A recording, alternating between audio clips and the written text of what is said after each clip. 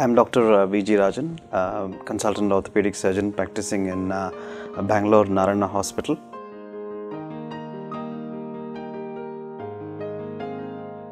The common reasons include a muscle imbalance, whether it's weakness or tightness, poor alignment of kneecap, overuse of leg resulting from excessive high impact activities, flat foot deformity, and finally the anatomical abnormalities in the kneecap shape and the groove in which it sits. Collectively all these conditions result in a condition known as chondromalacia patella wherein the back of the knee cartilage uh, becomes soft and undergoes damage resulting in pain and inflammation.